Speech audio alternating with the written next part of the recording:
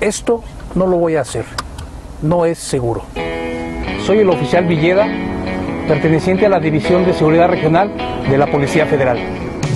Existe un gran riesgo al bajarse del automóvil en movimiento, ya que los ocupantes pueden ser arrollados por otro vehículo que transite sobre la vía. En el caso del conductor, se compromete la conducción del vehículo al abandonarlo.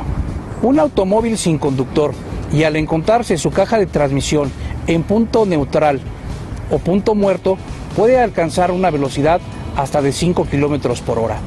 En primera velocidad puede alcanzar hasta 10 kilómetros por hora. Los riesgos para el conductor y otras personas del entorno son de forma inmediata y mortal. Al perderse la conducción y control del vehículo, este puede atropellar a peatones, colisionar con otros vehículos e incluso pueden resultar heridos los propios ocupantes.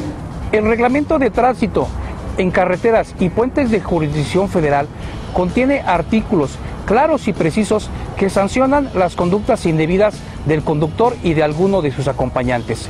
Artículo 63. Los usuarios de las vías federales deberán abstenerse de todo acto que pueda constituir un peligro. Artículo 92. Todo conductor, previo a poner en movimiento un vehículo en una vía federal, deberá cerciorarse de que puede hacerlo con seguridad y sin causar daños a terceros.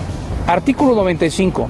Todos los conductores de vehículos automotores en movimiento deberán llevar asido firmemente con ambas manos el control de la dirección y no permitir que otro pasajero lo tome parcial o totalmente.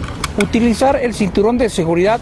Artículo 182. A los pasajeros de cualquier vehículo les está prohibido bajar del vehículo en movimiento, sacar del vehículo parte de su cuerpo u objetos.